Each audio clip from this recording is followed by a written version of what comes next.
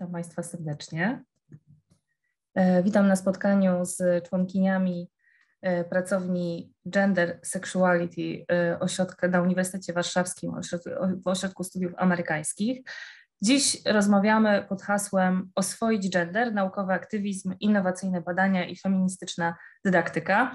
Witam osoby oglądające, jak również panelistki. E, ja się nazywam Anna Piekutowska, jestem dziennikarką Radia Tok FM i mam ogromną przyjemność e, poprowadzić to spotkanie dla Państwa. Informuję, że jest nagrywane i e, po wszystkim będzie dostępne na kanale YouTube'owym Ośrodka Studiów Amerykańskich Uniwersytetu Warszawskiego. Witam moje rozmówczynie, krótko teraz je wymienię, potem będą dłuższe przedstawienia i dłuższe wizytówki. Jest z nami dr Karolina Krasuska, dr Ludmiła Janion, Aleksandra Kamińska, Agnieszka Kotwasińska, Anna Kurowicka, Natalia Pamuła, Marta Usiekniewicz. Witam serdecznie. Zanim zaczniemy jeszcze e, spotkanie już e, w pełnym sensie, chciałabym poprosić kierowniczkę pracowni, dr Karolinę Krasuską o kilka słów na temat tego, no, w jakim trudnym i smutnym czasie teraz się dzisiaj spotykamy. Dziękuję bardzo. Jak Państwo widzą, za mną specjalnie książki ustawione. Chcielibyśmy, chciałybyśmy e, wyrazić swoją solidarność z Ukrainkami i Ukraińcami. E, I to chyba krótko, krótko tyle. E, dla wolnej Ukrainy też tutaj jesteśmy i rozmawiamy o zaangażowanej nauce. Sława Ukrainie. Bardzo dziękuję. Ja też się przyłączam do tych słów. E, zaczniemy od takich krótkich występów, które przygotowały nasze e, gościnie, nasze uczestniczki. To są takie punkty wyjścia do naszej rozmowy, opracowane też na podstawie e, tego, jakimi zagadnieniami się Panie zajmują, przemyśleń na temat roli i znaczenia genderu w nauce i o samej pracowni też oczywiście będziemy rozmawiały. Chciałam też Państwu powiedzieć, że przez cały czas trwania tego spotkania można zadawać pytania naszym uczestniczkom w Zoomie tutaj. E, na dole jest opcja QA, ewentualnie jak ktoś ma polską wersję, to się nazywa pytania i odpowiedzi. Po prostu tam właśnie można wpisać swoje pytanie. Będę zadawała je gdzieś w międzyczasie, ewentualnie na koniec. Jeszcze zobaczymy, jak to, e, jak to będzie pasowało, jak będzie się wpisywało w kontekst. Ja osoby zadające pytania będę starała się przedstawiać tak, jak tutaj występują na Zoomie, ale jeśli jakaś osoba chciałaby zadać pytanie anonimowo, to poproszę po prostu w tym pytaniu wpisać anonimowo. Anonim może złe słowo, anonimowo, to wtedy będę wiedziała i nie przedstawię osoby, która je zadaje. I zanim oddam jeszcze głos naszym uczestniczkom, tylko zaznaczę, że każda z nich na początku swojego wystąpienia krótko opisze swój wygląd. To jest zabieg dostępnościowy skierowany do osób niewidzących i niedowidzących. Ja jestem brunetką, mam okulary z okrągłymi oprawkami, a za mną są rośliny. I jako pierwszą poproszę o wypowiedź dr Annę Kurowicką, która jest y, kulturoznawczynią, adiunktką w Ośrodku Studiów Amerykańskich, gdzie uczy o płci, seksualności i kulturze popularnej. Prowadzi badania na temat reprezentacji aseksualności w amerykańskich serialach, powieściach i filmach i z Martą Usiekniewicz prowadzi podcast Oswoić Gender. Bardzo dziękuję. Rzeczywiście zacznę od e, opisania siebie. Jestem e, białą kobietą, też brunetką, mam e, włosy związane w kucyk, i okulary z dużymi czarnymi oprawkami i siedzę na e, ciemnoszarym krześle w moim pokoju. E, mój input, czy też mój, e, moje krótkie wystąpienie będzie właśnie dotyczyło, a raczej wychodziło z moich zainteresowań badawczych, które e, właśnie jak wspomniano wiążą się z seksualnością i aromantycznością. I tak się składa, szczęśliwie dla mnie, że w zeszłym tygodniu miał miejsce Tydzień Wiedzy o Spektrum Aromantyczności. E, w październiku z kolei obchodzimy Tydzień Widzialności Osób Aseksualnych. I oba te tygodnie to jest oczywiście okazja do szerzenia wiedzy na temat aromantyczności i aseksualności, czyli orientacji i tożsamości osób, które nie odczuwają pociągu romantycznego lub seksualnego albo żadnego z nich.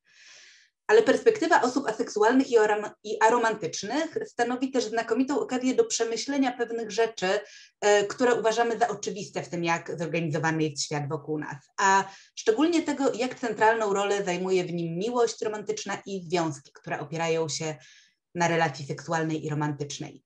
I to nie jest kwestia tylko ślubów, czy presji rodziny na założenie swojej rodziny, czy też komedie romantyczne, chociaż sama jestem ich fanką, ale to też kwestia zupełnie zwyczajnych, y, praktycznych trudności życia w pojedynkę, jak chociażby koszt, koszt pojedynczego y, pokoju hotelowego, y, czy też wyższe podatki, które płacimy. E, szerzej rzecz ujmując, krytyczny namysł nad normą seksualności i nad normą miłości romantycznej daje impuls do wyobrażenia na nowo relacji społecznych, tych bliższych i tych dalszych. Dzięki takiej krytyce możemy wyobrazić sobie świat, w którym posiadanie pary nie jest oczekiwane i nie jest oczywiste i nie jest uważane za konieczne do szczęścia. Możemy za to wyobrazić sobie e, i docenić przyjaźnie, rodziny z wyboru, feministyczne sieci wsparcia, e, czy też jakieś inne relacje, które spełniają nasze potrzeby w danym momencie. I dlatego właśnie dla mnie nauka i dydaktyka w nurcie Gender Studies oznacza przede wszystkim dostrzeganie wykluczeń i przemilczeń w kwestiach, które są zwykle uważane za oczywiste, naturalne, zdroworozsądkowe, niewymagające komentarza, tak jak chociażby ta centralna e, pozycja miłości romantycznej. Dzięki Gender Studies uczę siebie, ale także na moich kursach uczę innych, że na świat wokół warto, a nawet należy może patrzeć krytycznie co nie znaczy koniecznie negatywnie, ale zawsze z przekonaniem, że e, nie jest e, dany taki, jaki jest i można w nim całkiem wiele zmienić. Dziękuję bardzo. Bardzo dziękujemy. E, teraz bardzo poproszę dr Tatarię Pamułę kulturoznawczynię w Ośrodku Studiów Amerykańskich. E, dr Pamuła prowadzi zajęcia z zakresu studiów o niepełnosprawności.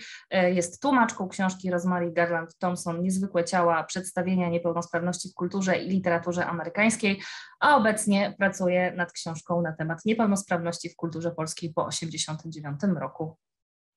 Dziękuję bardzo i witam wszystkich. Ja mm, mam takie włosy e, brązowe, do ucha, mam kolczyk e, w nosie, okulary, białą bluzkę w niebieską kratę i siedzę na tle mm, takich świątecznych jeszcze e, światełek i białego tła i Chciałabym powiedzieć e, krótko o tym, co dzisiaj mi się wydaje kluczowe w Akademii z mojej perspektywy.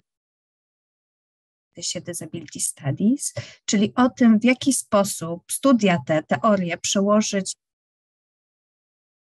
praktyki akademickie.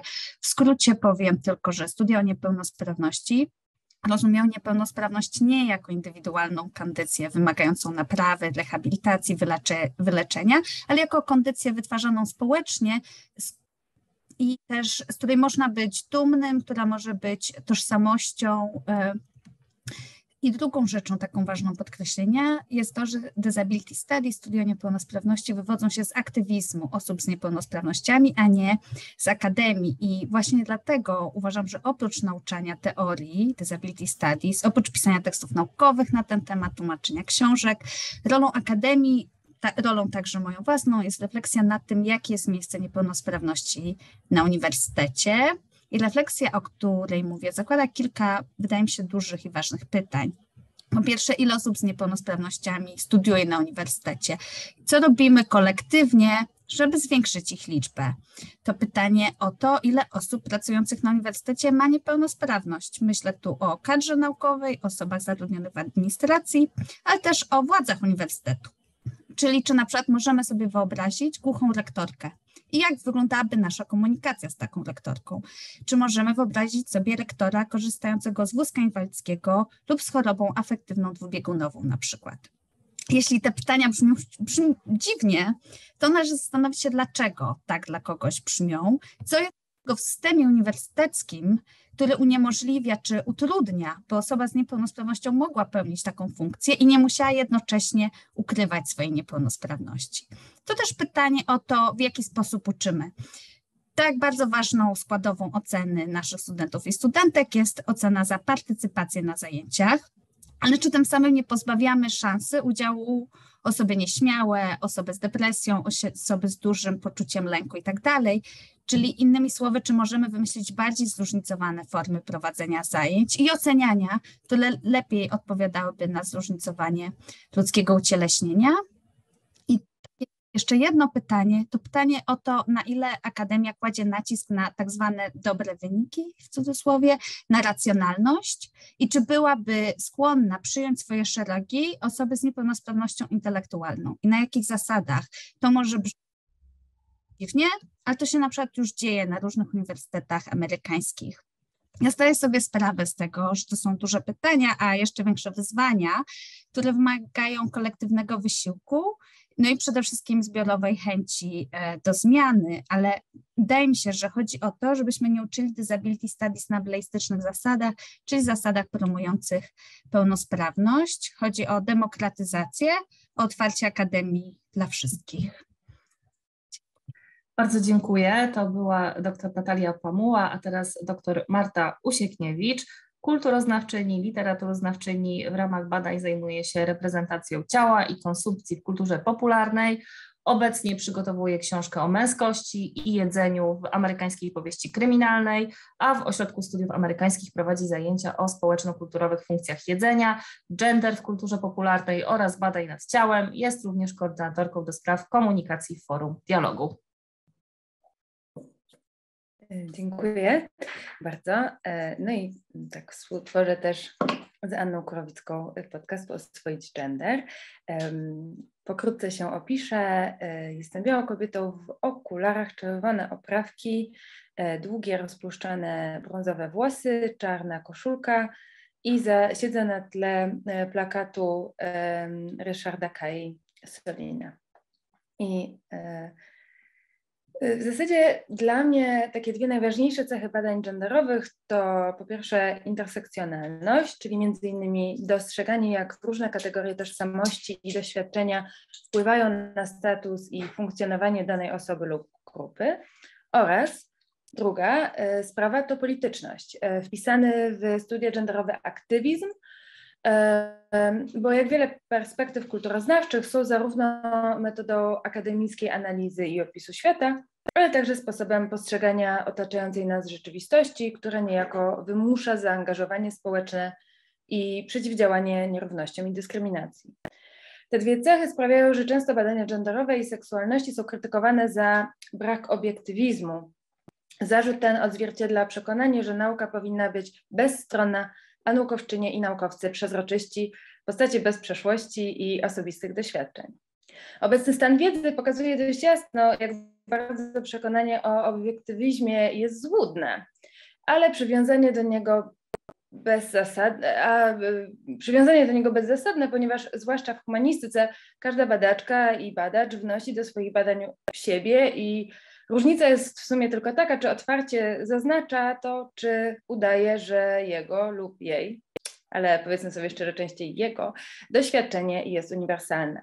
Nie chodzi tu oczywiście o jakiś skrajny relatywizm, ale fakt, że w dużej mierze, tak jak język potrafi określać to, co widzimy i rozumiemy, tak nasze wąskie czy też szerokie doświadczenia będą wytyczać nam to, co jest ważne i warte analizy.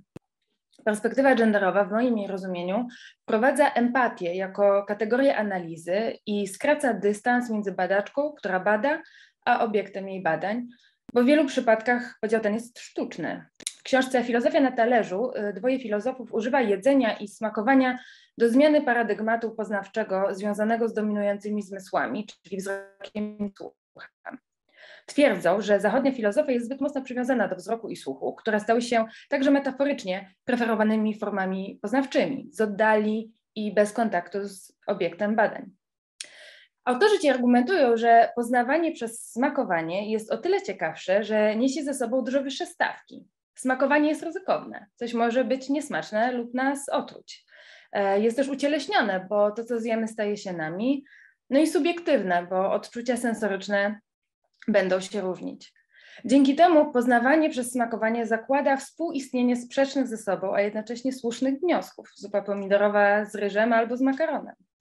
I to jest rodzaj poznawczej empatii, którą widzę jako podstawę do badań genderowych i seksualności i w zasadzie przyszłości humanistyki, którą chciałabym współtworzyć. Dziękuję.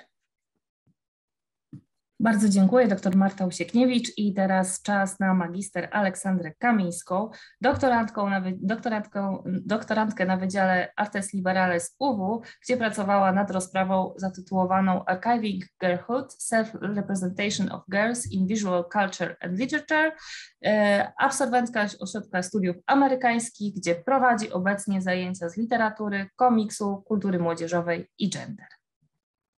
E, dzień dobry, to ja też się pokrótce opiszę. Jestem białą kobietą, mam na sobie czarny golf, okulary, brązowe włosy, w kucyk, a za mną jest e, białe tło, lustro i kwiat w doniczce.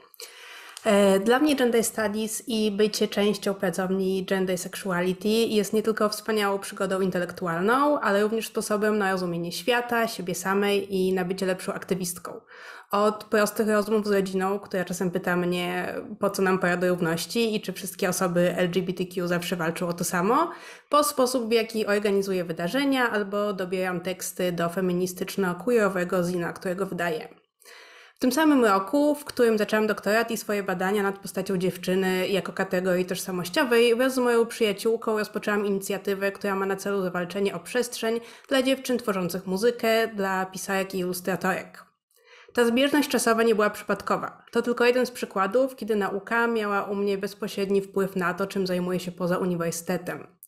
Studia nad płcią kulturową to dla mnie nie tylko teoria, ale również świadome zakotwiczenie moich działań w feministycznych praktykach. Zarówno jako akademiczka, organizatorka koncertów i debat, redaktorka, kuratorka, jak i przyjaciółka czy partnerka. To właśnie dzięki elementom Gender Studies jeszcze na studiach magisterskich zaczęłam odbierać naukę jako przygodę i widzieć ogromny potencjał wolności, który w niej tkwi. Teraz, kiedy sama uczę w ośrodku studiów amerykańskich, staram się przekazać dalej to poczucie wolności i jednocześnie uważność, które towarzyszą mi od kiedy zaczęłam zajmować się gender studies i queer theory. Uważność na wykluczenia i na konstrukty społeczne, które wydają się oczywiste, sprawiają, że rozwijam się nie tylko jako doktorantka, ale również jako osoba. I chociaż oczywiście można zajmować się gender studies tylko na poziomie teorii, bez włączania wiedzy w praktyczne działania czy w swoją codzienność, to opierając się na moim doświadczeniu w pracowni Gender Sexuality obserwuję, że wraz z teorią często idzie w parze wrażliwość, uważność, niehierarchiczne podejście i siostrzeństwo. Dziękuję. Bardzo, bardzo dziękuję. To była Aleksandra Kamińska, a teraz przyszedł czas na dr Agnieszkę Kotwasińską kulturoznawczyni i literaturoznawczyni, adiunktka w Ośrodku Studiów Amerykańskich, prowadzi zajęcia z kultury popularnej z naciskiem na gatunki fantastyczne, horror, science fiction, weird fiction, kończy książkę o intymności i rodzinie we współczesnym amerykańskim horrorze literackim, prowadzi pracownię narracji dziwnych przy OSA UW. E, bardzo dziękuję. Dobry wieczór Państwu. Może zacznę od opisu swojej osoby. Jestem białą, grubą kobietą o brązowo-niebieskich włosach, noszę okulary w ciemnych oprawkach, a moje tło to żółte zasłony i niebiesko-szara ściana. E, ja chciałam powiedzieć kilka słów o samej pracowni, która jest dla mnie wyjątkowym miejscem, bo pokazuje, że feministyczny mentoring i wsparcie są możliwe także w ramach struktur uniwersyteckich. Bardzo mi takiego feministycznego mentoringu brakowało w trakcie studiów e, doktoranckich. I oczywiście poza uniwersytetem powstają takie przestrzenie. Sama niektóre z nich współtworzę i to jest super, ale nie chodzi przecież tylko o to, żeby tworzyć alternatywne przestrzenie gdzieś obok akademii, ale właśnie również w akademii.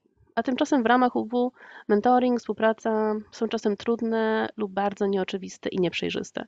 Różne niefajne praktyki mają miejsce, przykład gatekeeping, czyli blokowanie lub utrudnianie komuś wejścia na nieco wyższy szczebelek akademickiej drabiny. O równości siostrzeństwie dużo się pisze, ale w praktyce wygląda to różnie. I bywa, że osoby piszące mądrze i przekonywująco o relacjach władzy same nie widzą lub nie chcą zobaczyć, jak bardzo są same w nie uwnikłane. Jak bardzo łatwo przychodzi im odtwarzanie tych nierówności, na przykład poprzez traktowanie młodszych koleżanek z góry, umniejszanie ich osiągnięć albo po prostu upupianie ich. Mam na to dużą niezgodę w warstwie politycznej, a w warstwie prywatnej taki stan rzeczy po prostu mnie wkurza. Tym bardziej cieszy mnie, że pracownia kierowana i kształtowana przez Karolinę Krasuską jest miejscem, gdzie nie tylko sama otrzymuję wsparcie, ale też uczę się sama, jak wspierać innych. Świetnym przykładem są warsztaty pisarskie, które pracownia organizuje regularnie już prawie dwa lata, i które udowadniają, że pisanie, robienie nauki może być, a nawet powinno być procesem kolektywnym, a dawanie feedbacku czy recenzowanie nie musi polegać na dokopywaniu innym, ale na realnej pomocy opartej na ciekawości i otwartości. Tutaj podkreślam, że dobre mentoryk i wsparcie replikują się, idą dalej w świat, a nie pozostają zamknięte w jednej społeczności. Dziękuję.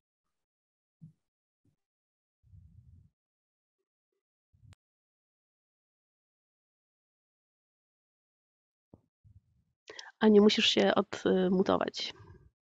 Przepraszam, już jestem. Dziękuję bardzo dr Agnieszka Kotwasińska, a teraz y, przyszedł czas na dr Ludmiłę Janion. Dr Ludmiła Janion jest kulturoznawczynią, asystentką w Ośrodku Studiów Amerykańskich UW i wykładowczynią na podyplomowych Gender Studies w Instytucie Badań Literackich Polskiej Akademii Nauk. Naukowo zajmuje się badaniem płci i seksualności w Polsce lat 90. oraz teorią queer. Obecnie przebywa w Buffalo w stanie Nowy Jork, gdzie wygłasza gościnne wykłady. Dzień dobry Państwu. Łączę się z lobby hotelowego w Buffalo. Właśnie słychać być może bicie y, zegara y, tutaj w lobby. Mam na sobie granatową sukienkę, jestem na tle takiej żółto-złotej tapety i starego lustra w dekoracyjnej ramie. Chciałabym zacząć od tego, że od początku moich zainteresowań intelektualnych zawsze niezwykle ważna była dla mnie kategoria płci kulturowej.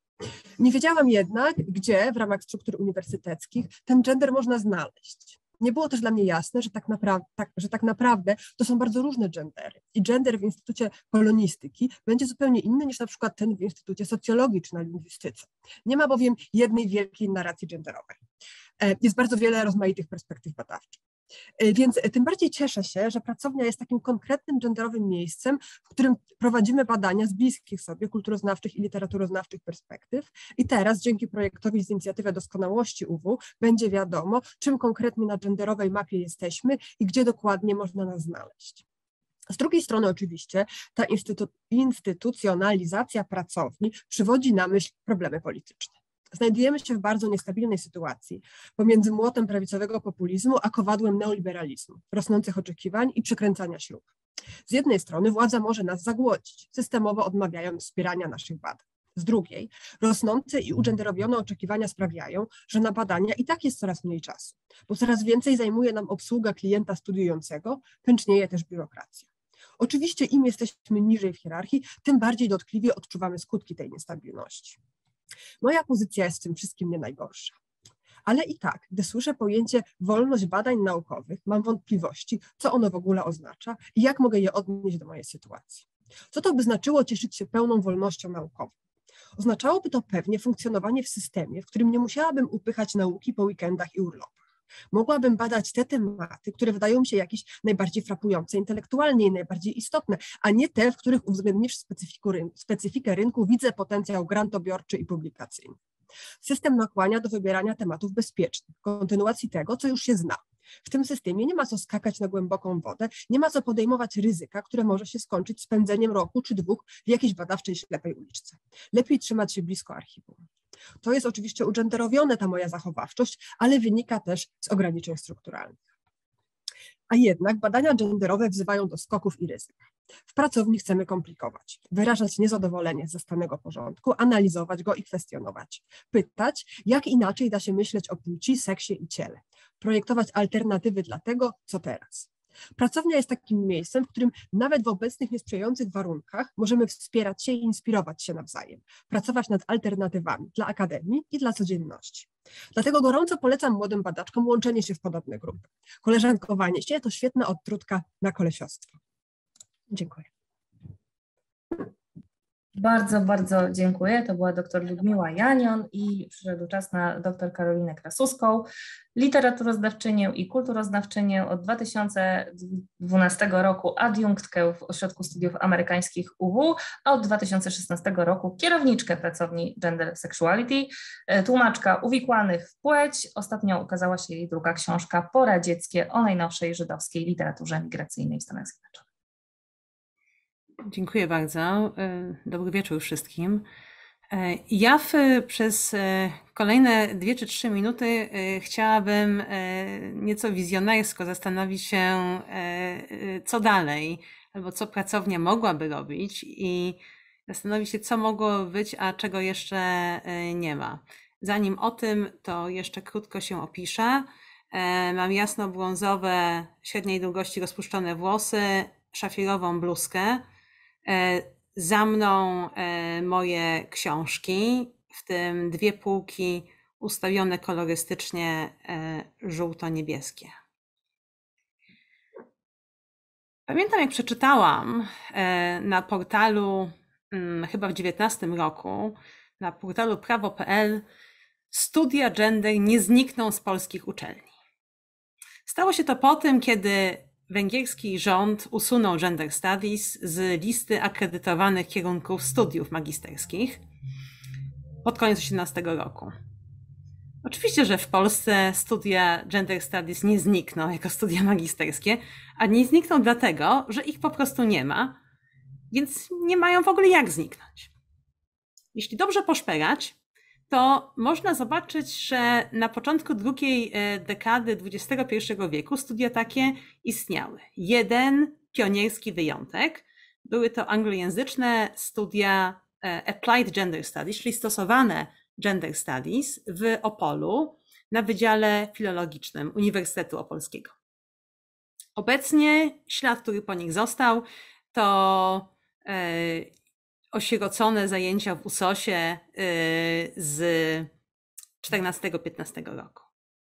Jest jeszcze jeden program, który jest tylko kolejnym wyjątkiem, e, a mianowicie atrakcyjny program GEMMA, Master's Degree in Women's and Gender Studies, koordynowany przez Uniwersytet w Granadzie, działający od 2006 roku to e, Gender Studies, które jest koordynowane przez e, Grenadę, ale uczestniczą w nich wiele uniwersytetów, e, między innymi Uniwersytet Łódzki. Znowu, oba te programy to wyjątki. Jeden nie przetrwał. Gemma, jako Erasmus Mundus, jest programem wyjątkowym, nie tylko pod względem tematyki.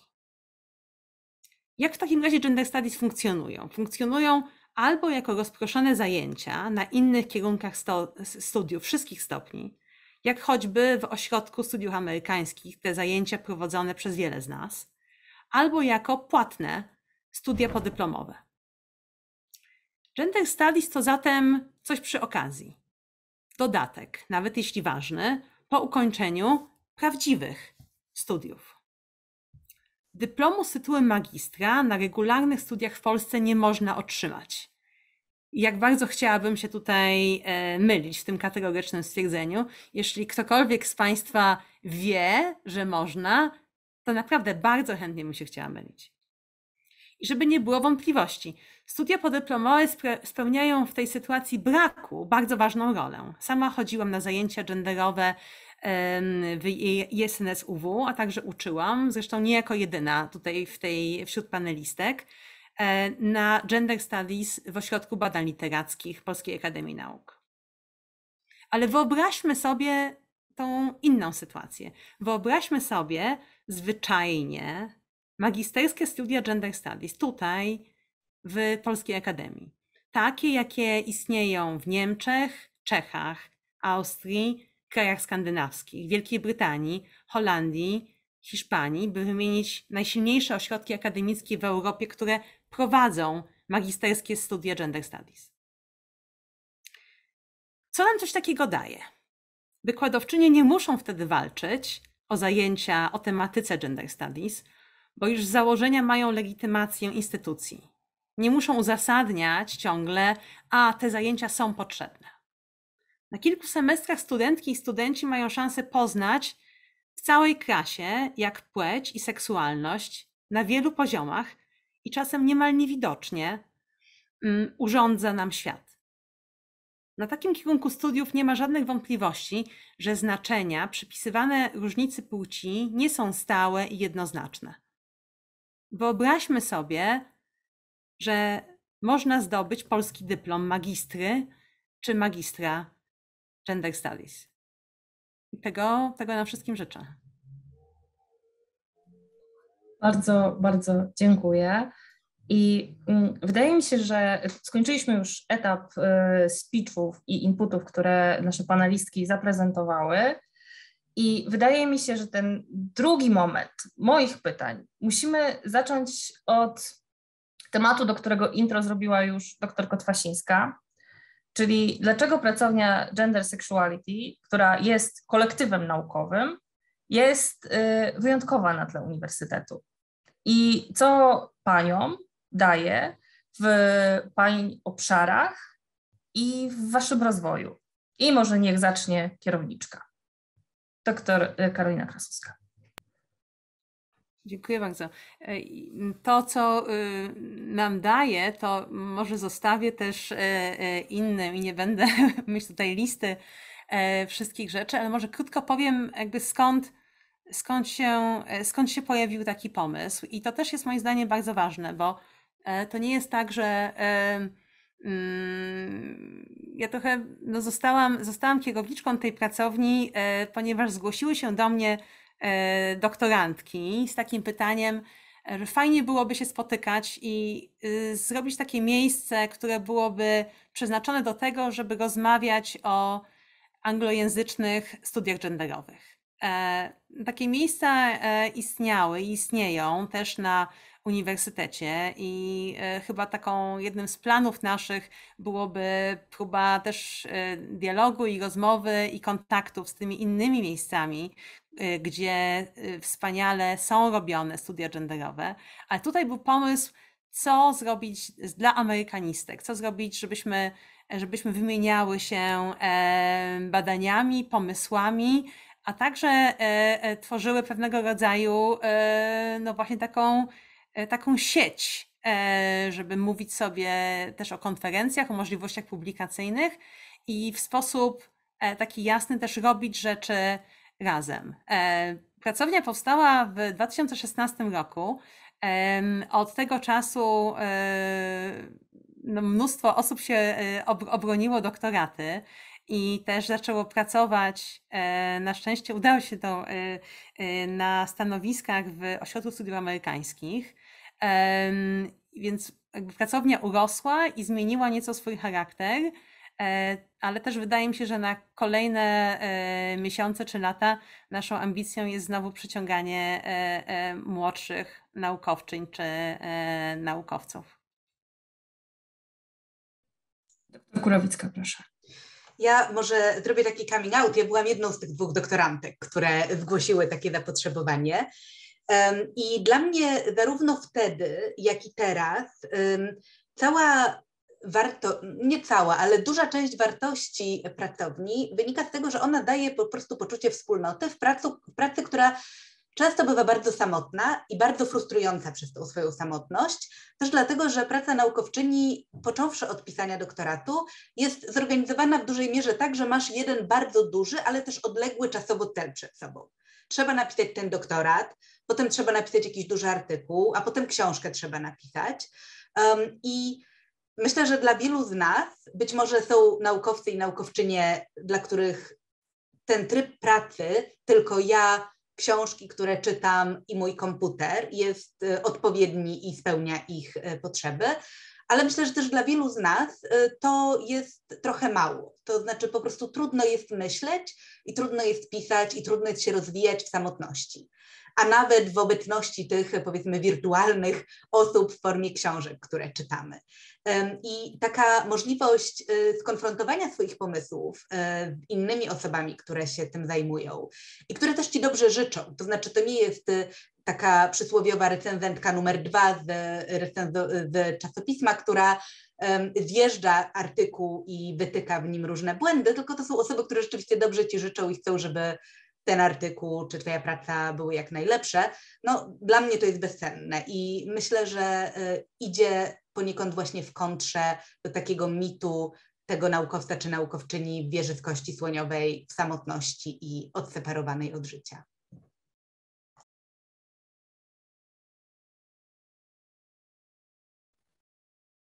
Y, jeśli ja mogę coś dodać? Tak, właśnie nerwowo szukam swojego okienka. Doktor Marta Usiekniewicz.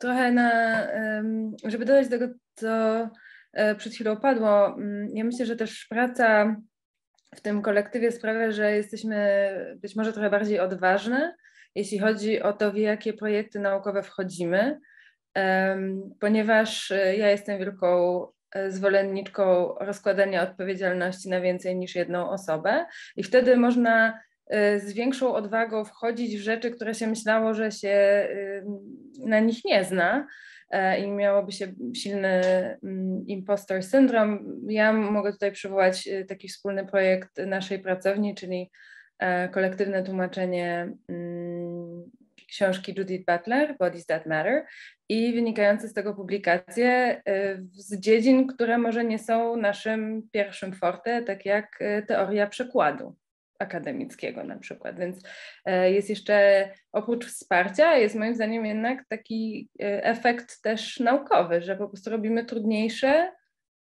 dla nas rzeczy, bo możemy je zrobić razem i z tego zawsze wychodzi moim zdaniem coś lepszego niż z takiej pojedynczej, e, pojedynczego fechtowania w akademii.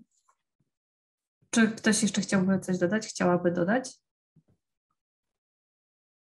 Dobra. Mi się wydaje, że w ogóle same badania genderowe już od zarania jest wpisana polityczność, takie pewne postrzeganie świata, mindset, konkretne wartości. Jak to, co robicie Panie w ramach pracowni, w ramach też akademii przede wszystkim, przekłada się na to, co poza nią, czyli zaangażowanie, czyli aktywizm i odwrotnie. Jaką rolę w wasza tożsamość pozaakademicka odgrywa w akademii, przy robieniu nauki? I poprosiłabym może doktor Natalię Pamułę na początek. Nie spodziewałam się, e, chociaż e, dostaję faktycznie często pytań na temat e, tożsamości. W kontekście tego, że zajmuję się badaniami na temat niepełnosprawności, a nie jestem, oso- a jestem osobą bez niepełnosprawności. I myślę o sobie jako o sojuszniczce mm, osób z niepełnosprawnościami. Mm, tylko powtórzę pytanie, jak jak to, co robię w akademii, ma, rozumiem, przełożenie na rzeczywistość i vice versa, tak? Czy jak to się tak. jakoś. Mhm. No przede wszystkim jakoś y, Akademia daje mi platformę, żeby w ogóle uczyć na ten temat i, i co roku prowadzę jakieś zajęcia z Disability Studies i faktycznie bardziej niż o takich działaniach dydaktycznych, ja trochę myślę, że to jest taki trochę aktywizm, to znaczy y, no, czytamy te teksty akademickie, ale też moi studenci, studentki robią projekty co roku, w jaki sposób UW jest na przykład dostępne czy niedostępne, czyli rozmawiamy na ile rzeczywistość taka najbliższej nas jest dostępna i dla kogo ona jest właściwie dostępna, dla kogo ona jest y, zbudowana. Też daje mi taki przywilej, że jestem zapraszana w różne miejsca, żeby mówić i to, co ja często robię, to też dopytuję, czy jakaś osoba niepełnosprawna również jest zaproszona i tak dalej, więc y, ta praca wiąże się z wieloma przywilejami, które można wykorzystywać, y, wydaje mi się, na bardzo różne pytania i y, na bardzo różne osoby. No, tak bym odpowiedziała najkrócej. Do, jak mogłabym jeszcze poprosić y, może Aleksandrę Kamiską, bo trochę też Pani w swoim początku i intro o tym mówiła, więc może jeszcze jakieś kilka słów. E, tak, jestem e, współtwórczynią takiej inicjatywy, która się nazywa Girls to the Front i, i właśnie tak jak mówiłam, mniej więcej w tym samym czasie zaczęłam doktorat i w tym samym czasie zaczęłam tą inicjatywę. I dla mnie bardzo ważne było, żeby właśnie to, czego się uczę, uczyłam jako doktorantka, już teraz na szczęście skończyłam ten doktorat, e, ale to um, skończyłam czytać, ale to właśnie czego się uczyłam jako doktorantka, żeby jakoś wcielać w życie um, jako aktywistka i właśnie jako redaktorka Zina, którego wydaje mm, w zeszłym roku też zrobiłam razem z moją partnerką taki projekt, który się nazywał Stolesp.com i polegał na, na wywiadach ze stu lesbijkami żyjącymi w Polsce i na portretach z tych, tych stu lesbijek. I na przykład dla mnie to było na tyle inspirujące doświadczenie, że wydaje mi się, że jakoś tam wpłynie na to, czym będę się dalej e, zajmować w, w akademii. Więc e, jakoś te oba, obie te rzeczy, czyli to, co robię właśnie tak trochę aktywistycznie, i to, co robię na uniwersytecie, bardzo na siebie, bardzo na siebie oddziałuje i, i na pewno widzę to jako połączone, jako jakoś też część mojej tożsamości. A to jest trudne dla Pani mówić o swojej tożsamości w kontekście akademii? Czy to jest y, dobrze widziane i czy Wy się z tym komfortowo czujecie w ogóle? Mm, to ja mogę jeszcze właśnie jedno słowo tylko o tym, jak, e, jak się czuję. Mam wrażenie takie, że trochę jako sobie na przykład mówię jako aktywistka i potem, wychodzę, i potem robię coming out akademicki, to ten akademizm nie tak w 100% dobrze widziany. To znaczy, że jednak e, akademia jest trochę tą wieżą z kości słoniowej i, i właśnie E, no, ten prawdziwy, prawdziwy aktywizm dzieje się na, na ulicach i tak dalej. Więc wydaje mi się, że tutaj ewentualnie może być jakiś konflikt, ale wydaje mi się, że przynajmniej jak na razie jakoś w miarę dobrze mi się udaje łączyć te dwie rzeczy i, i, i no, przynajmniej dla mnie one są strasznie połączone i, i ważne tak samo. Doktor Pamuła? E, ja tylko tak, chciałam dodać, e, że w kontekście oczywiście disability studies jest ważne to, o czym mówiłam wcześniej, że to nie, że to nie przyszło akademii, tak? Więc w jakimś sensie akademia jest taką naszą trochę ulicą, o której mówiła Ola. To znaczy jest to miejsce, gdzie można uczyć na temat disability ale to też jest miejsce, które należy zmienić zajęcia na temat disability studies, ale też takie spotkania jak teraz, nasza działalność pracowni, to też jest jakby działalność aktywistyczna. Znaczy tutaj jest trudno według mnie, to, to nie są tak binarne opozycje akademizm, akademia, tak sobie myślę.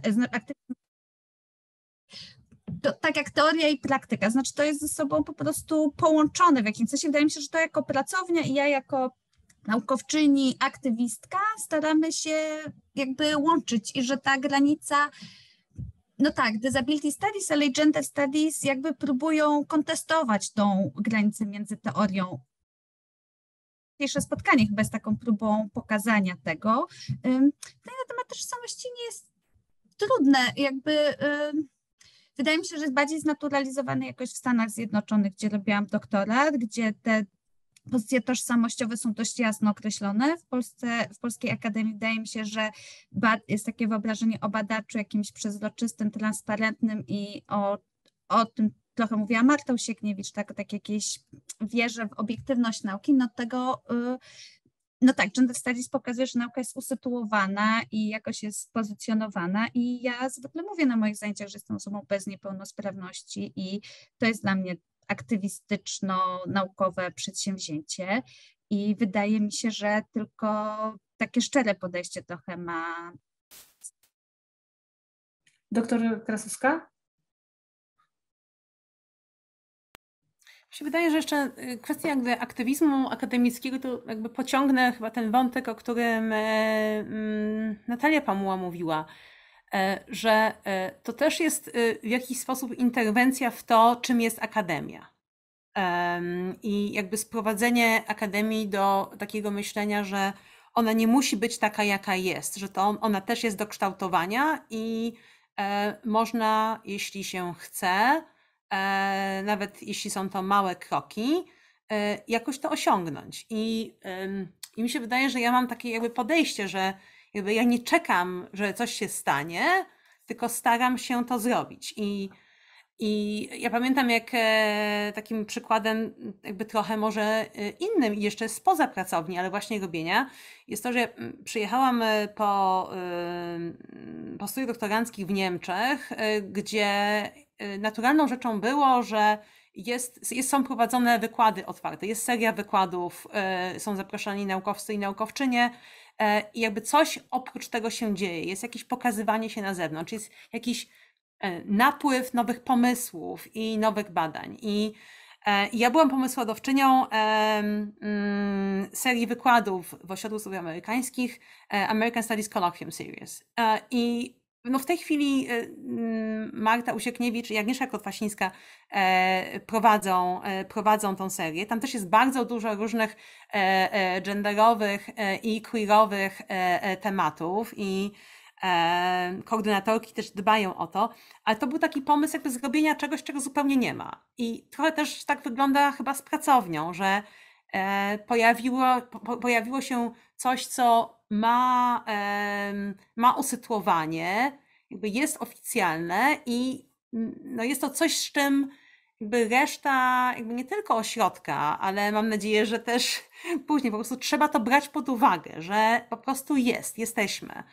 I to, że jesteśmy i to, jak e, my ze sobą rozmawiamy i o uczeniu, i o badaniach, wydaje mi się, że kształtuje e, e, nasze nawyki i kształtuje, wypracowujemy też to, jaką byśmy chciały widzieć Akademię. Nie tylko jaką rolę ona miałaby spełniać w rzeczywistości społecznej, ale też jaka ona ma być, jak ludzie mają ze sobą rozmawiać nawet. E, a jak mają nie rozmawiać? Jak, e, na czym polega e, posiadanie doktorantki? Może z profesorami i z profesorkami na obiad warto zaprosić doktorantów i doktorantki, żeby mogły coś więcej zobaczyć, żeby mm, ten przepływ informacji nie był tylko wśród doktorantek, tylko wśród profesorów, tylko żeby było to no, bardziej zdehierarchizowane. Więc też ja myślę o pracowni jako o e, wypracowaniu pewnych modeli życia akademickiego. Dziękuję bardzo. E, czy doktor Kurowicka coś chciała dodać, czy nie? Okej, okay, dobrze. E, to pociągnę ten temat, bo też w swoim startowym wystąpieniu doktor Krasuska zarysowała taką potrzebę dążenia do tego, żeby w Polsce gender studies zyskały więcej podmiotowości i że tam jest potrzebna jakaś osobna struktura. I rozumiem, że to jest też potrzeba y, studentów i studentek, osób, które wybierają właśnie Wasze zajęcia, robiąc sobie takie DIY Gender Studies w ramach OSA-UW. I właśnie trochę o nich, czyli o dydaktyce chciałam y, porozmawiać i o nie zapytać. To znaczy, jak ta perspektywa genderowa jest obecna w Waszym podejściu do uczenia innych? Jak wpływa na prowadzenie zajęć? Jak w ogóle wygląda i czy ona istnieje, ta dydaktyka w nurcie feministycznym czy w nurcie gender studies? I też mnie bardzo interesuje, jak na nią reagują studenci i studentki, jak na nią odpowiadają, jak w ramach niej współpracują. I może poproszę doktor Kurowicką? O, ja zostałam wyrwana do odpowiedzi na ten temat. No ja, moje, moje miny y, przy y, tym pytaniu trochę dotyczyło tego, że y, trudno powiedzieć, miejmy nadzieję, że dobrze studentki i studenci reagują, prawda? Ale no możemy mieć tylko taką nadzieję i też widzimy ich wśród uczestników tego webinarium, więc być może na przykład w trakcie sesji Q&A możemy się dowiedzieć tego. Cały czas można zadawać pytania, to jest ten dobry moment. Tak, właśnie. Ale no tak, ale oczywiście ja zrobię to jedyne, co mogę zrobić, czyli odpowiem na to pytanie e, z mojej perspektywy. E, jedna z rzeczy, które są e, jakoś dla mnie bardzo ważne, to jest taki nasz zwyczaj robienia kursów wspólnie i on nie dotyczy tylko członkiń pracowni, ale myślę, że duża część kursów, które są współuczone w Ośrodku Studiów Amerykańskich, to są, to jest jakaś kombinacja nas krótko mówiąc. E, mamy taki jeden wspólny kurs, który nazywa się Wstęp do badań nad płcią i seksualnością i to jest elektyw oferowany na pierwszym roku. Co roku zmieniają się uczące, ale jakby kurs pozostaje ten sam. A oprócz tego też oferujemy różne kursy mm, wspólnie w dwójkach, czasem, no teraz nawet w czwórce nam się zdarzył taki kurs. E, zależnie od tego, jakie mamy zainteresowania po prostu i na co mamy ochotę trochę. I myślę, że to jest też um, że to jest też cenny jakiś taki element y, feministycznej praktyki dydaktycznej, dla mnie przynajmniej. E, no dlatego, że siłą rzeczy taki kurs to już nie jest tylko moje e, pole, prawda? I to nie jest tylko e, jakieś moje, to nie są tylko moje plany, moje preferencje, tylko wymaga kompromisu i wymaga też otwarcia się na styl uczenia drugiej osoby. I to siłą rzeczy sprawia, że z pewnych jakichś takich może właśnie przesadnie już zastałych zwyczajów, które mamy w akademii, czy z naszych poprzednich kursów, czy z kursów, na których same byłyśmy słuchaczkami, które wniosłyśmy. I w ten sposób mam, mam poczucie, że ja się rozwijam, ale też e, studentki i studenci mają okazję, żeby zobaczyć jakąś taką różnorodność dydaktyczną, a nie tylko tematyczną e, w tym wszystkim. Dydaktyka genderowa, dydaktyka feministyczna, czy ktoś jeszcze do, dorzuci coś? E, tak, może ja się e, tutaj zgłoszę, bo chciałam jeszcze coś dodać na temat um, robienia, robienia zajęć genderowych. Ja trochę mam taką, um, taką nadzieję, taką wizję odczarowania, odczarowania genderu jako, jako takiej dużej, wielkiej rzeczy, którą się robi na zajęciach, bo mam, mam wrażenie, że czasem czasem słyszy się właśnie opór na przykład w wersji politycznej, że gender wchodzi na zajęcia, ideologia, gender, jakieś inne bzdety, a tymczasem prawda jest taka, że gender studies czy, czy badania nad seksualnością, nad płcią kulturową stanowią po prostu jeden z wielu elementów tej układanki, takiej układanki tożsamościowej. I na przykład na moich zajęciach staram się bardzo mocno to przekazać moim studentkom i studentom, że to nie jest tak, że my tylko rozmawiamy o genderze albo rozmawiamy tylko o seksualności. My zawsze rozmawiamy o wielu różnych rzeczach, które są ze sobą połączone. Zawsze rozmawiamy też o upłciowieniu, o urasowieniu, o uklasowieniu, o tym, gdzie ktoś jest umiejscowiony w świecie, w jaki sposób. I to są po prostu naczynia powiązane dla mnie. I, i, i ważne jest dla mnie to, i czuję, może powiem to tak, czuję taki wewnętrzny opór, jak ktoś mówi, że o, jest za dużo zajęć genderowych, o, tutaj ten gender wchodzi na zajęcia, wchodzi nam do polskich szkół, do przedszkoli, bogini wie gdzie jeszcze, a tymczasem prawda jest taka, że ten gender, no właśnie w takiej czystej postaci, on, on, on prawie nigdzie nie występuje. Nawet te zajęcia, o których wspomniała dr Kurawicka przed momentem, e, wstęp do badań nad seksualnością i płcią kulturową, który współprowadziłam w zeszłym, w zeszłym roku akademickim z Martą Usiekniewicz i Agnieszką Ziemińską.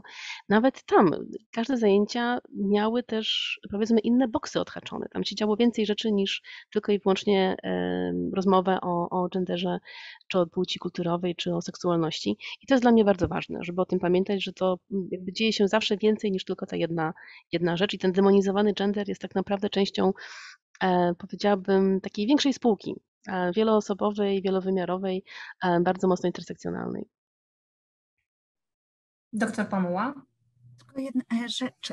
Ja uczę studiów genderowych w połączeniu z Disability Studies, czyli właśnie tak intersekcjonalnie, o czym mówiła dr Agnieszka Kotwasińska przed chwilą. I kilka lat temu się porozmawiać z moimi studentami, studentkami na temat sylabusa. Tak spojrzeć na sylabus i jakie wymagania stawia, jakie jest jakby w ogóle skonstruowany z punktu widzenia niepełnosprawności płci. I to szło nam bardzo opornie. Właściwie mogę powiedzieć, że to była jakaś porażka tego zadania. To znaczy, my też prowadzimy, chodzi mi o to, że my prowadzimy te zajęcia w pewnym kontekście instytucjonalnym, który jest taki, a nie inny. I y, niektóre rzeczy idą ciężko nie dlatego, że grupa nie jest otwarta, czy nie jest fajna, czy nie chce rozmawiać, tylko że mierzymy się z dwunastoma latami edukacji publicznej, a potem z wszystkimi kursami, które są inne niż nasze. I że próba ja próbowa, próbowałam dekonstruować mój sylabus, miałam pomysł, że napiszemy jakoś wspólnie. I to faktycznie szło i więcej póki co takich zadań nie tworzę, dlatego że ten mur instytucjonalny, ten kontekst jest tak silny, tak silnie jakby funkcjonujemy w pewnych strukturach, że takie jedne czy dwa zajęcia nie zmienią wszystkiego tak od razu. Bardzo możliwe, że można dekonstruować taki sylabus pod koniec zajęć disability studies, tylko to wtedy już ma, nie ma trochę sensu, bo już cały semestr uczyliśmy się według tych zasad. Ale też chcę powiedzieć, że my też istniejemy w pewnym kontekście instytucjonalnym, który jest y, trudny i na zajęciach często mówimy rzeczy, które są w niezgodzie z tym, co się czasami dzieje na innych zajęciach i tu jest bardzo dużo takich różnych y, napięć edukacyjnych, wyzwań i tak. Czyli gender jest potrzebny w konstruowaniu instytucji, a dopiero na samym końcu w sylabusie, tak? Mm, dobrze, bardzo dziękuję. Y, Odbiciem Akademii, oczywiście. Mhm. Znowu chciałabym zmienić pytanie, ale pojawiło się pytanie od publiczności, y, więc y, może w tym momencie je zadam. To jest pytanie dotyczące gender studies. Jeżeli na magisterkę gender studies, to tylko za granicę i domyślam się, że pewnie osoba, która zadała to pytanie, pyta również o to, gdzie. Dobrze, to y, doktor, doktor Krasuska poproszę. E, to chyba trochę zależy od tego, e, czy zależy nam e, na pełnej, wielowarstwowej edukacji z zakresu gender studies w różnych, w różnych dyscyplinach też. Czy zależy na napisaniu samej magisterki, która będzie używać perspektywy genderowej? Dlatego, że na przykład w Ośrodku Studiów Amerykańskich powstaje mnóstwo prac magisterskich, które w sposób bardzo sprawny używają e, instrumentarium e, Gender Studies i tutaj siedzące doktorki są, e, są i były mm, opiekunkami takich prac. Natomiast jeśli chodzi o mm, takie regularne i systematyczne poznawanie wiedzy, E, genderowej, jeśli mm, no na przykład krytykę nauk ścisłych genderową. To jest coś, e, co nie bardzo na przykład w Polsce jest, e, jest obecne, mm, czy na UW jest obecne, czy feministyczną na przykład teologię, czy feministyczną politologię. Ja sama brałam udział w takich, w takich zajęciach. No i to jest coś, co w spójny sposób tego, e, tego na UW no nie bardzo można nie bardzo można otrzymać. Takie przekrojowe zajęcia są e, obecne na studiach podyplomowych, e, bardziej, bardziej podnauki społeczne sprofilowanych zajęciach w ISNS UW i bardziej w sposób humanistyczny sprofilowanych zajęciach e, w IBLU Panowskim, w Instytucie Badań Literackich. Natomiast są studia podyplomowe, więc odpowiedź na to pytanie jest trochę taka jakby na ile gender studies chce się rzeczywiście systematycznie poznać i uprawiać, bo na pewno można w jakiś sposób e, e, również zrobić magisterium genderowe, e, natomiast to, jak interdyscyplinarnie na przykład e, można się uczyć e, studiów, e, studiów genderowych chociażby w Berlinie na Uniwersytecie Humboldta, gdzie ja miałam przyjemność e, być doktorantką. E, no jest to, jest to inny, jest to inny wymiar e, pewnego, no, pewnego słowa znaczenia. Czy któraś z panelistek chciałaby jeszcze jedno słowo? Dobrze, bardzo proszę, doktor Kotkasińska. Ja tylko do, dodam od siebie, że nie jestem pewna, czy na ISNS-ie UW jeszcze są e, te podyplomowe studia Gender Studies, bo one chyba się nie podniosły um, rok temu. I boję się, że po prostu już ich nie ma i jest po prostu jeszcze mniej możliwości uzyskania um, takiego dodatkowego dyplomu magistra na studiach podyplomowych w Polsce. E, więc tak trochę to, co mówiła doktorka Suska na początku, że w 2018 portal prawo.pl mówiło, że studia genderowe nie znikną z Polski, ale one trochę znikają, trochę, trochę tak odchodzą po cichu. I z tego co wiem, też e, Gemma w Łodzi też trochę ma więcej powiedzmy problemów niż, niż, niż dawniej i, i to też te fundusze europejskie nie płyną już takim strumieniem jak dawniej. Więc to, to, to dosyć smutna kontestacja, że mamy mniej niż więcej tych, tych studiów e, w tym momencie. Natomiast rzeczywiście na, no, na zachodzie, na północy, na południu Europy te programy są obecne i są, są, są bardzo ciekawe. Jeżeli ktoś poszukuje konkretnych miejsc, to na pewno Niemcy są dobrym, dobrym kierunkiem, ale też, też Utrecht, też Linköping w Szwecji jest, jest świetnym miejscem, gdzie dzieją się naprawdę ciekawe i odważne rzeczy. I chciałam też powiedzieć, że to, co jest fajne w Gender Studies i co może nie zawsze jest um, dla nas łatwe do przekazania, i to jest troszeczkę wiąże się z tym, o czym mówiła dr Natalia Pamuła o takich instytucjonalnych barierach. To jest to, że po prostu w gender studies, e, w krytyce feministycznej dzieją się naprawdę niezwykle ciekawe rzeczy. To nie jest tak, że, że, że po prostu, że siedzimy i rozmawiamy tylko o płci kulturowej. Tam się dzieją niesamowite rzeczy związane właśnie z krytyką chociażby no, nowych technologii, z krytyką e, nie wiem, posthumanistyczną, e, postantropocentryzmem. Dzieją się świetne rzeczy i ciekawe rzeczy, których, które tutaj jakby, no, ciężko jest je upchnąć gdzieś. Ciężko jest też je w taki, powiedziałabym, zniuansowany, dogłębny sposób przedstawić. Ja tam czasem wiele z nas próbuje te rzeczy gdzieś tam wciskać nasze, nasze zajęcia, ale nie jest tak, że mamy miejsce, żeby zaoferować na przykład cały semestr czy cały, cały moduł dotyczący, no nie wiem, na przykład feministycznego nowego materializmu, który jest całkiem popularny w wielu ośrodkach w świecie, natomiast w Polsce dzieje się znowu gdzieś tak pokątnie e, na różnych, na różnych uniwersytetach, na różnych wydziałach, robione przez bardzo różne osoby, które też nie są jakoś mocno z sobą połączone w jakieś grupy, co mnie bardzo smuci, więc też Gender Studies w tym wydaniu zachodnim mówimy też o po prostu ogromnej innowacji. Mówimy po prostu o odejściu od starych paradygmatów, może takich zużytych paradygmatów nieco, nie tylko paradygmatów dotyczących zawartości kursu, ale też tak tego, jak, jest, te, jak te kursy są prowadzone, jakie są metodologie, jakie wyobrażone są te zajęcia. Tutaj też odwołam się do tego, o czym mówiła dr Pamuła wcześniej, te właśnie próby powiedzmy, nawet nie tyle odświeżenia, co dekonstrukcji sylabusa. One odbywają się, oczywiście, że tak, ale w takich miejscach, gdzie jest wsparcie instytucjonalne. A to wsparcie instytucjonalne niestety w Polsce jest bardzo słabe. I dlatego te próby, które organizujemy w mniejszym, większym zakresie, często kończą się niepowodzeniem albo są małe w porównaniu z tym, co, co dzieje się w innych ośrodkach. Dlatego Oczywiście zachęcam do tego, żeby studenci i studentki zapisywali się do nas na nasze seminaria i licencjackie czy magisterskie, czy, czy już niedługo też doktoranckie u niektórych z nas. Natomiast mm, tak, jeżeli ktoś szuka czegoś, powiedziałabym, naprawdę bardzo innowacyjnego, takiego po prostu e, wgłębienia się w rzeczy, które wymagają jednak instytucjonalnej opieki, instytucjonalnego supportu, wsparcia, to obawiam się, że w tym momencie tak, trzeba po prostu wyjechać i trzeba szukać tych studiów gdzie indziej. Oddaję głos doktor Kurowickiej. Ja chciałam jeszcze trochę w nawiązaniu do tego, y, co zostało powiedziane, powiedzieć o innym aspekcie oprócz innowacyjności i tej instytucjonalności gender studies, czyli o właśnie jakiejś wspólnocie i społeczności wokół tego, która się tworzy albo która się nie tworzy. I chyba chodzi mi o to, że wiele z nas ma takie doświadczenia, ale te doświadczenia są sprzed 10 albo 15 lat i ja wierzę w to, że to się częściowo zmienia.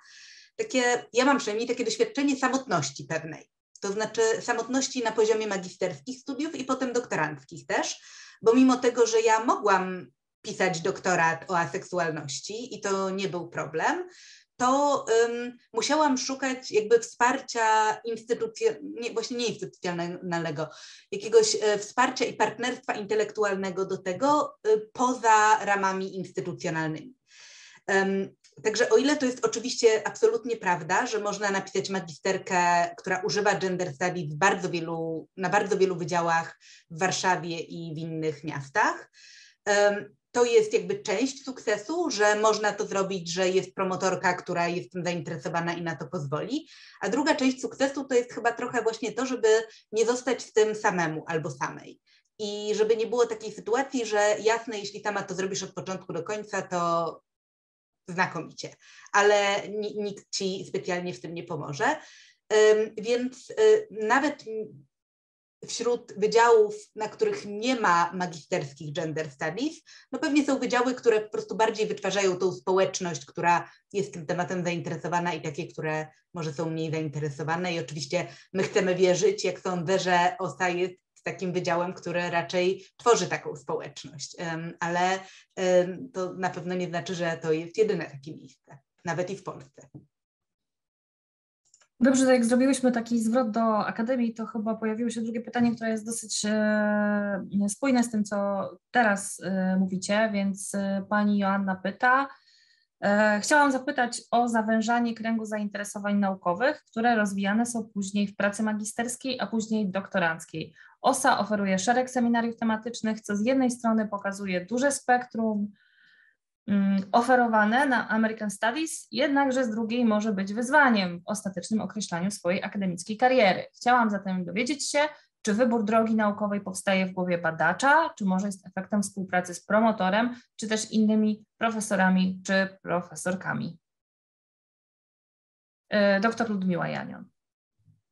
Tak, to jest bardzo ciekawe pytanie.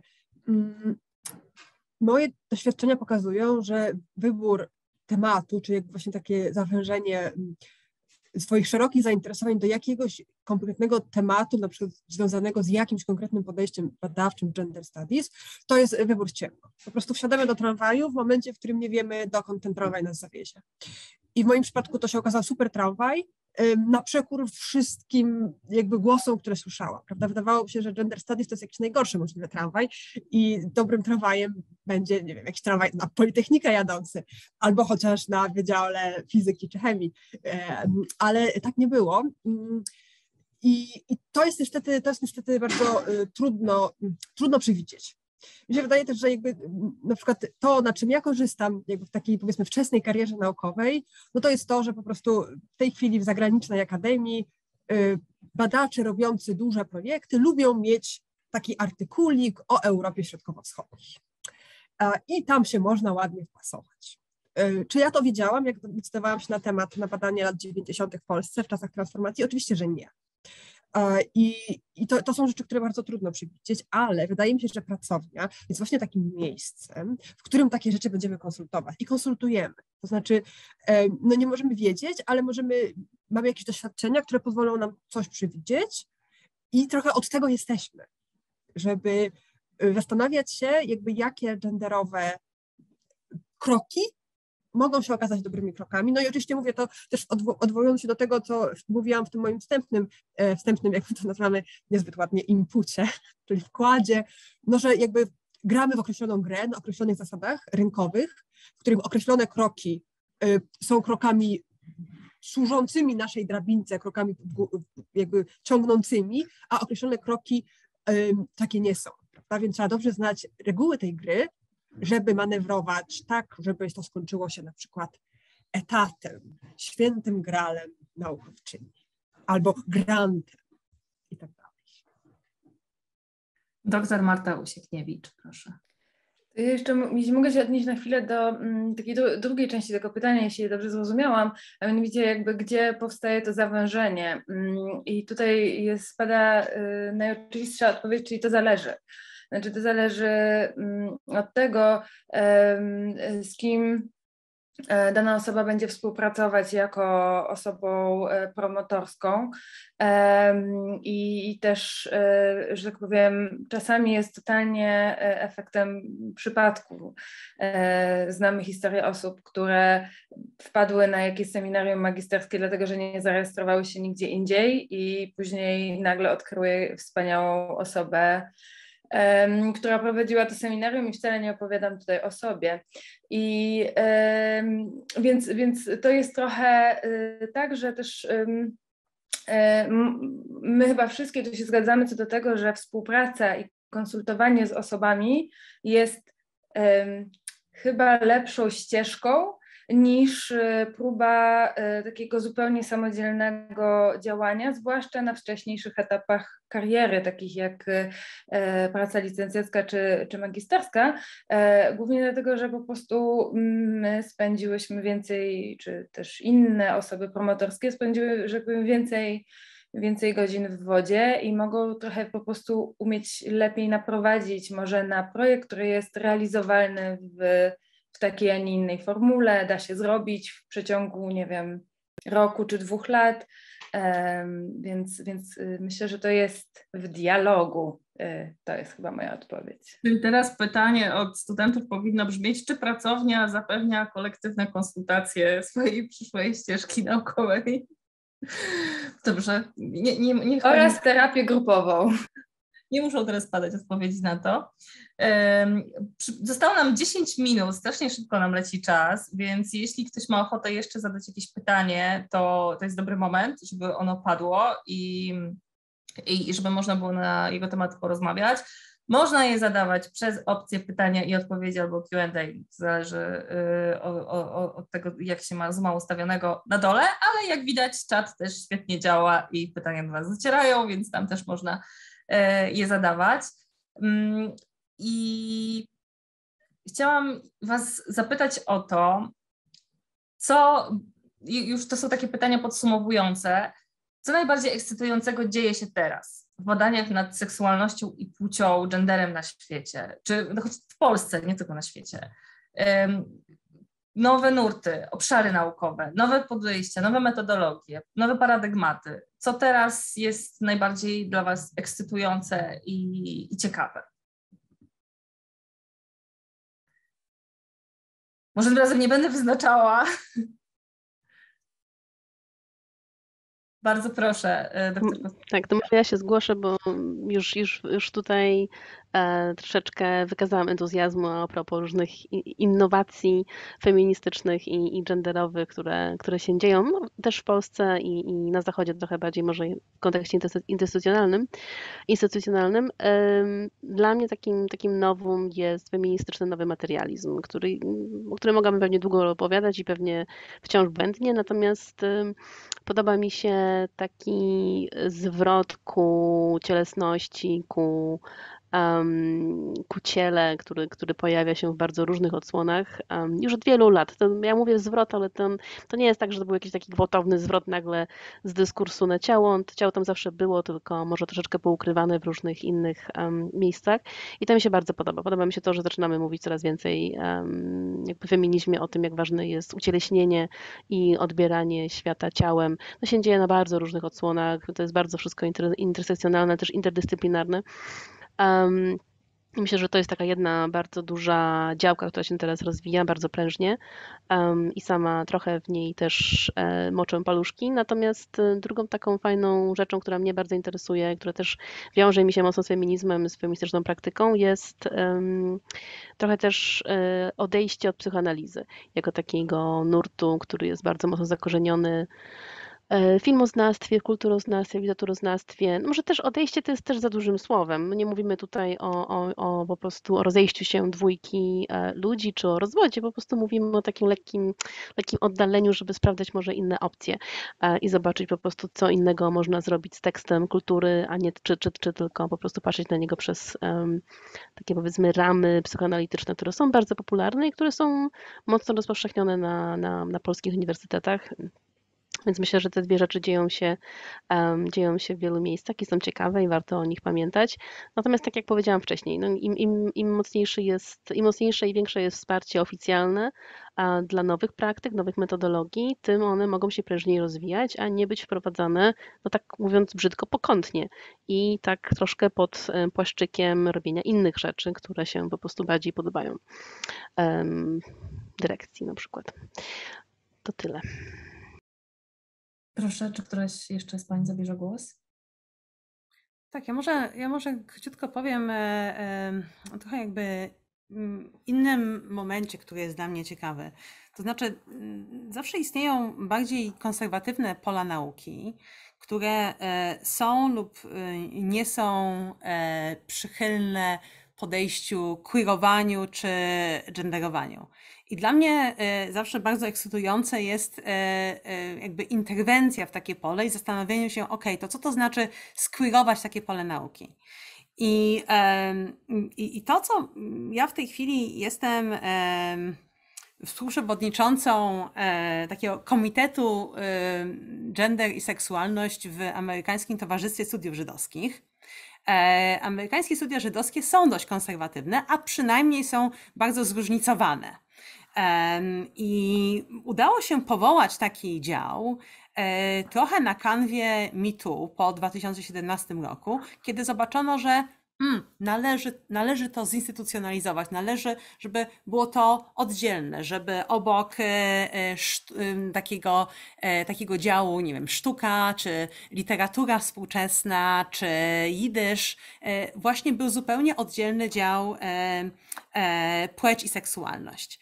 I co może zrobić, znaczy po pierwsze instytucjonalizacja, mówiliśmy o tym, jakby daje od razu legitymację i to gwarantuje, że na przykład na dużym, e, na dużej konferencji od razu są zagwarantowane odpowiednia ilość e, paneli, które są takiej tematyce, ale też jest zastanowienie się nad e, praktykami dyscyplinarnymi takiego pola. E, I mm, ja w tej chwili organizuję taki panel e, właśnie e, queerowanie studiów żydowskich, który będzie zastanawiał jakby jakie normatywne założenia w ogóle istnieją w, w studiach żydowskich. I tu nie chodzi o to, żeby to były tylko właśnie obecności e, queerowe. To nie chodzi tylko o osoby queerowe i ich reprezentację, ale w ogóle na przykład myślenie, jakby jak e, myślenie genealogiczne o heteroseksualnej rodzinie wpływa w ogóle od razu na badanie, jak ona ustawia myślenie o historii, myślenie o pisaniu literatury, czym jest genealogia literacka, jeśli zaczyna się od e, heteroseksualnych mężczyzn. Więc to, to jest coś, co jest dla mnie interesującego, czyli jakby queerowe interwencje w dziedziny takie bardziej e, konserwatywne.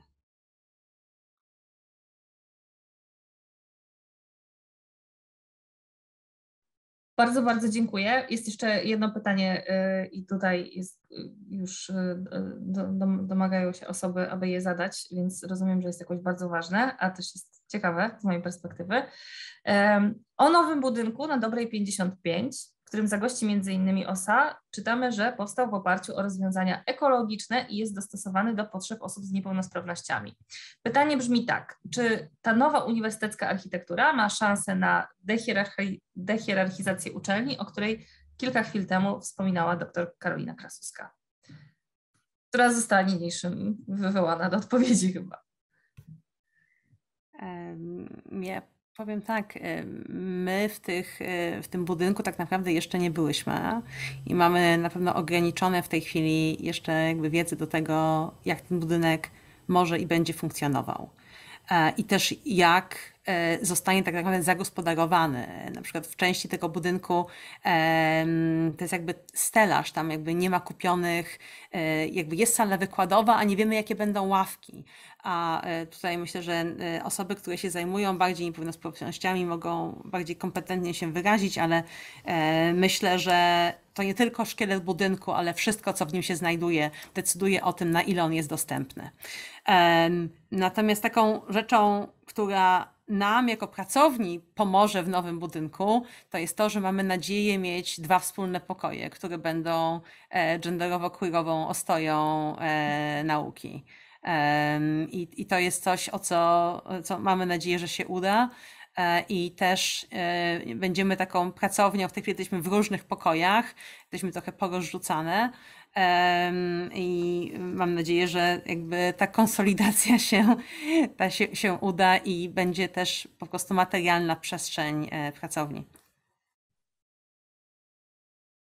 Czy ja mogę jakoś krótko na to pytanie odpowiedzieć, bo ono mi się wydaje bardzo ważne, mm, bo chciałam powiedzieć, że to, że coś jest dostosowane, nie oznacza, że nie ma hierarchii. W tej chwili uczelnia jest mniej więcej dostosowana do potrzeb studentów i studentów bez niepełnosprawności. Czy nie ma hierarchii? Nie ma się świetnie. Y, pytanie, jeżeli coś jest dostosowane do osób z niepełnosprawnościami, to jakie niepełnosprawności architekci i władze uczelni wzięły pod uwagę, czy osoby korzystające z wózków inwalidzkich, e, kul, czy też e, osoby głuche niepo... i czy będą zapewnieni tłumacze i tłumaczki polskiego języka migowego na każdych mniej więcej zajęciach. Czy wzięto pod uwagę autyzm i tiki podczas zajęć, czyli czy to oznacza, że zanim się przeniesiemy do nowego budynku, to czy my wszyscy, cała kadra przejdzie jakieś szkolenia z tego, jak uczyć osoby niedowidzące, jak opisywać filmy, jak, mu, jak prowadzić zajęcia z tłumaczem. No, ja o takich szkoleniach nic nie słyszałam, żebyśmy mieli przechodzić. Tak zresztą, jak mówiła doktor Klasuska, my też nie byłyśmy jeszcze w tym budynku, więc trudno mm, stwierdzić, ale to, że coś jest dostosowane, to jest bardzo ogólna kategoria do potrzeb osób z niepełnosprawnościami. Jakie w ogóle niepełnosprawności zostały wzięte pod uwagę? Wydaje mi się, że zapewne bardzo wąska grupa, a że to coś, że jest dostosowane, to absolutnie nie oznacza, że nie ma hierarchii. To po prostu oznacza, że jakaś grupa może uczestniczyć w systemie hierarchicznym i będzie po prostu, bo w tej chwili pewna grupa osób po prostu w tej hierarchii nawet uczestniczyć nie może, gdyż po prostu nie wejdzie do budynku i jest wykluczona z systemu hierarchicznego. No po prostu jakaś grupa zostanie włączona, ale to zapewne będzie według mnie wąska grupa osób niepełnosprawnych. Chociaż mam nadzieję, że się mylę, ale...